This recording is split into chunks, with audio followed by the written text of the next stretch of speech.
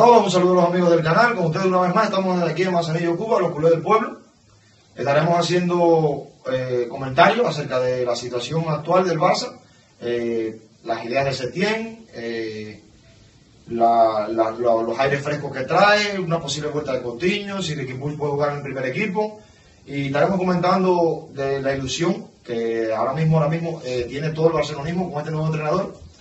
Y bueno, hay que empezar diciendo que es un entrenador que le gusta trabajar mucho con la cantera y, prueba de ello, eh, hoy asistió al partido que enfrentó el Barça B con el Badalona, eh, un partido que que ganamos por la mínima 2-1 y que bueno, si él pienso que llegó a asistir a este partido es porque quería ver eh, qué te puede brindar alguno de los chavales que están en el filial y con la idea de en un futuro subirlo. Recordemos que es un técnico que le gusta trabajar mucho con la cantera y, y bueno, que posiblemente también eh, suba Ricky Puig al primer equipo, o Ricky Puig, como lo conocemos en castellano.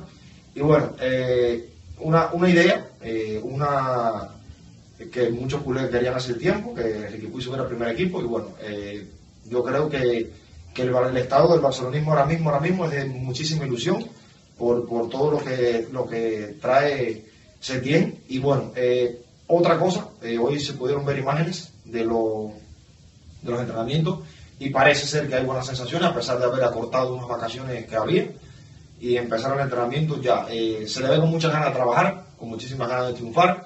Toca esperar, eh, sabemos que la adaptación no va a ser fácil porque que un sistema de juego simplemente lleva varios partidos, varias semanas, incluso diría, incluso puede ir un poco más allá y pudiera decir que hasta temporadas, pero bueno, esperemos que no, porque es un gran técnico, porque sabe lo que juega, porque sabe a lo que quiere jugar.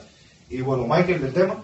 Sí, mira, este, nosotros estamos muy ilusionados con, con la llegada de Quique Setién, trae aire fresco a, la plantilla, al equipo, al vestuario, y se ve, se ve muy ilusionado. Eh, Quique se ve muy ilusionado, eh, va a ser la mejor plantilla con la que él ha trabajado en su vida entera como profesional, ya lo decía, que va a entrenar, va a entrenar a, lo- a los, mejores jugadores del mundo. Y entonces eso a él le hace mucha ilusión, por eso viene con mucha fuerza, con mucha ilusión. Este, al barcelonismo eh, lo que más le ilusiona en estos momentos, eh, por, por lo- los- los comentarios y eso dentro del mismo Barcelona, es principalmente de que, de que él quiera trabajar con la, con la cantera, porque el barcelonismo, si hay algo que admira siempre es la, la- cantera, el, desarrollo de, de los futbolistas que están en, en el segundo nivel y que sabe que tenemos, tenemos futbolistas en el segundo equipo de, de mucha calidad, de, de- mucha progresión y entonces eso ilusiona mucho al madridismo. Así que esperamos que, que sea un buen, un buen inicio. Por supuesto que no vamos a ver, eh, no vamos a notar el cambio de ahora para ahorita ni en el primer partido. A lo mejor en el primer partido podemos ver destello de lo que quiere hacer realmente este Quique y sobre todo ya él lo, ya él lo, lo prometió que si hay, hay algo que él podía prometer es que, que iban a, a ver un buen fútbol dentro del equipo. Miren, Eso eh, fue- miren, ha habido unos comentarios que he tenido la oportunidad de leer en grupos de WhatsApp que el problema del Barcelona no, fu- no era Valverde. Es decir, que, no era Valverde, que, el cáncer, así pude ver, eh, no era ese y que con el tiempo nos íbamos a dar cuenta. Yo, yo pienso, yo difiero de esta opinión. Eh, eh, a ver, tampoco digo que el problema del Barcelona era Valverde. Lo que pasa es que hemos llegado, creo, mi entender, ¿no? a un estado donde, no quiero utilizar la palabra autocomplacencia, donde estábamos cómodos y creíamos que dominábamos el partido teniendo la posesión. El problema, de, el problema de, de este equipo que arma el Míster Valverde es que se quedó anquilosado, a mi entender. Hubieron fases de juego que fueron muy brillantes con Valverde. Yo recuerdo partidos que se jugaron que fueron muy brillantes con Valverde. Y hubo otros que no tanto, y hubo otros que no. ¿Entiendes? ¿Qué se le está pidiendo al Barcelona este, este Barcelona actual con la plantilla que tiene con Messi, el mejor jugador de la historia? Regularidad. Y es lo que, lo que dejamos de tener con Valverde. Regularidad. Éramos muy irregulares. Éramos como el Dr. Jekyll y Mr. Hyde.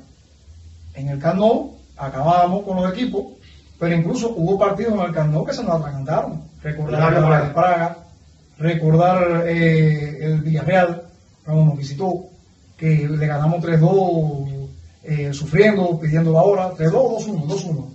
Entonces, y afuera pues da- dejaba mucho que desear. Y entonces no podemos permitirnos eso. Muy aparte que a mi entender, yo a Valverde como persona, lo máximo, un caballero, un señor, Un profesional. un profesional como la Copa de un Pino, pero a nivel futbolístico, que es lo que nos interesa, eh, sí pienso que, que cometió errores, sí pienso que, que con el problema de los cambios, ya lo, lo dije eh, otras veces, que demoraba mucho los cambios, que a veces no los hacía, que el equipo, que, que tuvo problemas con jugadores en un momento determinado, con Rakitic, que fue una cosa prácticamente eh, muy difícil de tragar, imperdonable, con un profesional como Rakitic. Eh, Aleñá tuvo problemas con Aleñá, lo puso en el primer partido, después no lo puso más. A la cantera prácticamente, lo olvidó, habló de, de Musa Guagué, que iba a jugar, y al final Musa Guagué no jugó. Ricky Puch, que se podía subir, y no jugó. Yo digo, mira, yo digo que eh, en, el en la trayectoria de la temporada ¿no? hay partidos que necesitas dar el paso adelante. No sé si me entiendes. Hay partidos que, que dice, coño, este hay que ganarlo. Hay que ganarlo como sea. Como sea. Hay algunos, a ver, que al- en el transcurso de la temporada hay partidos que hay que ganarlo como sea y hay partidos que hay que ganarlo jugando bien. Y creo que esto no falló, porque al fallar la regularidad, ya, ya entonces, un ejemplo, el partido con el Atlético de Madrid había que ganarlo, sí o sí. Y se ganó. A y ver. se ganó jugando bien. Sí, sí, pero eh, me refiero a la Supercopa, porque tienes que ganarlo. No, pero yo, yo me refería al de Liga. No, no, ese se ganó. El de Liga, Pero al pero- final te lo, te lo salva Eh, Messi. Pero, pero, pero al final, pero a ver, si vamos un poquito más atrás, con el partido contra el Leganés, que estaba, eh, no- no, era, creo que era tercero por la cola. Sí, Y, y- y estaba en descenso.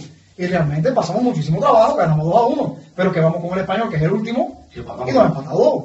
Y así, en esas cosas, no, no podemos permitir eso. Pero hay partidos, es, es lo, que, lo que me refiero, hay partidos que hay que ganar sí o sí. Eh, sabemos que al Barça se la tragan del partido después de las vacaciones. Ese tienes que ganarlo. Tienes que ganarlo aunque no juegues tu mejor fútbol. Pero la regularidad, que fue lo que le faltó, yo digo, siempre dije que era que su mensaje no estaba llegando. O, o no estaba llegando, o, o- o se malinterpretó en cierta forma. Y bueno, ya cuando estamos en este punto, se hacía necesario el cambio de entrenador. No sabemos si era Setién, si era Xavi, o era Kuma, o era otro que venía. No creo que Pochettino, pero bueno. Pero yo creo que ya en este momento, en este momento, en el punto en el que estamos, eh, ya eh, teniendo Setién de entrenador y ya empezando a trabajar y ver que quiere trabajar con la cantera, porque esto, esto no pienso que sea un bluffing de ir al partido a ver, a ver el partido para que digan que sí, que sí va a trabajar con la cantera.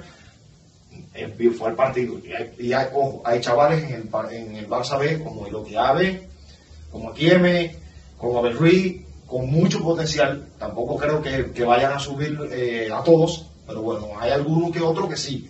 Y esa para mí es la principal ilusión en estos momentos de Quique Setién. Y a Ricky le queda, le queda corta ya, Ricky, Ricky No, ya sí, la sí. segunda vez le, le, le queda muy, muy, muy corta, ya, ya Ricky tiene que subir, Michael. Subimos este año. Mira, Yo creo que sí. Sí, sí. Mira, una, una, una de las cuestiones que tiene que lograr Kiki, ahora, él ya lo dijo en la conferencia de prensa que quería, y es, esto es una cuestión importante, porque si logramos, logramos que los jugadores recuperen la intensidad que generalmente tienen los futbolistas del Barcelona, podemos lograr y sentir la sensación de dominar los partidos. Hasta que no dominemos los partidos no vamos a tener la regularidad. Claro. Porque ¿qué estaba sucediendo?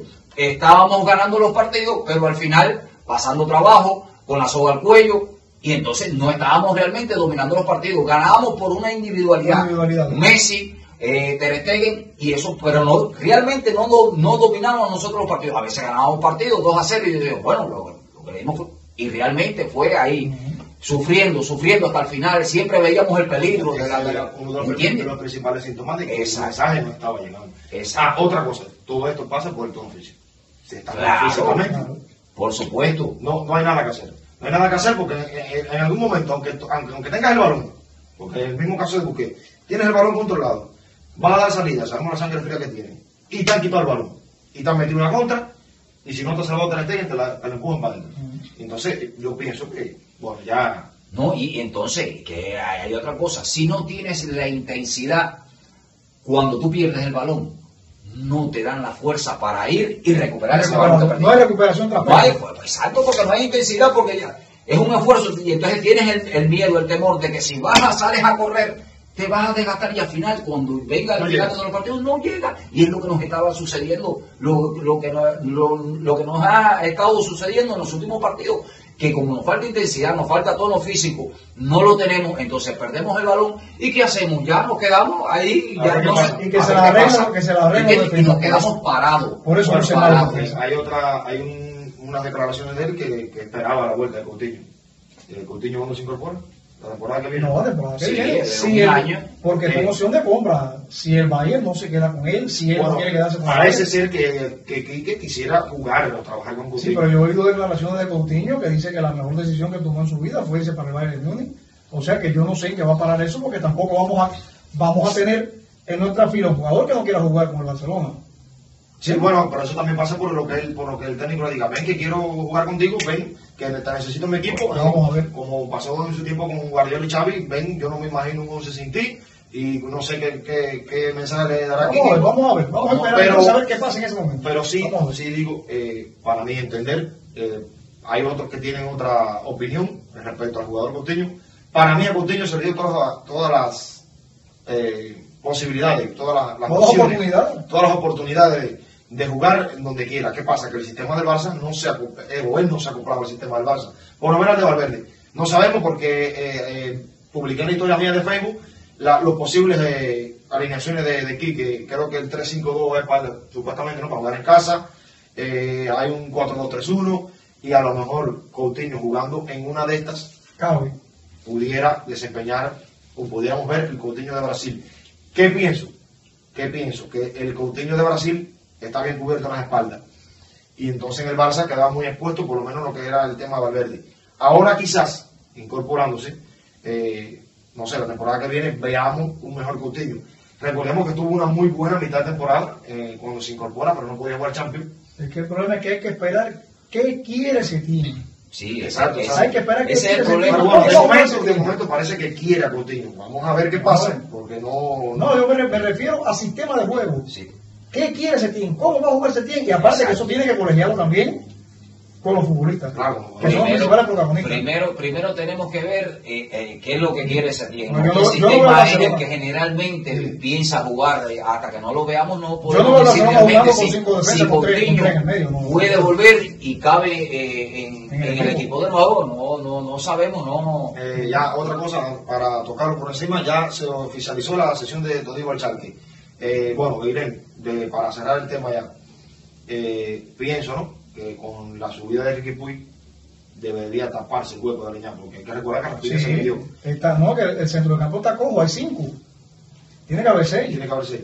Tiene que haber seis. Ahora mismo hay cinco. Bueno, ahora mismo hay cuatro porque Eh, eh, está lesionado. pero debe estar a entrar el ya. tema- no, no, Arthur está entrenó, completó las tres sesiones de entrenamiento. Ah, perfecto, entonces. Y Ter Stegen también. Eh, el tema del 9, Bueno, yo no veo nada claro todavía. A eso hay que esperar. Eh, Setién dijo en la conferencia de prensa que él primero tenía que ver con qué contaba, qué era lo que tenía en la plantilla, quería ver eh, a los futbolistas que tenía en la plantilla y entonces después él determinará Qué dependencia si ve... de momento, de momento vi de un las mejores de, de, responsabilidades. de Ansu Fati. No, tampoco creo No lo veo. que, que se le No. pueda dar esa responsabilidad a un chaval que sabemos toda la calidad que tiene, pero vas a ser el delantero titular del Barça, delantero centro, bueno, no creo que tampoco, eh, bueno, hasta aquí todo. Espero que les haya gustado el vídeo, como siempre digo, si te ha gustado el vídeo, déjanos un buen like por ahí, suscríbete si eres nuevo, y como siempre decimos, Vica, el Barça siempre, nos vemos en un próximo vídeo. Chao. Chao.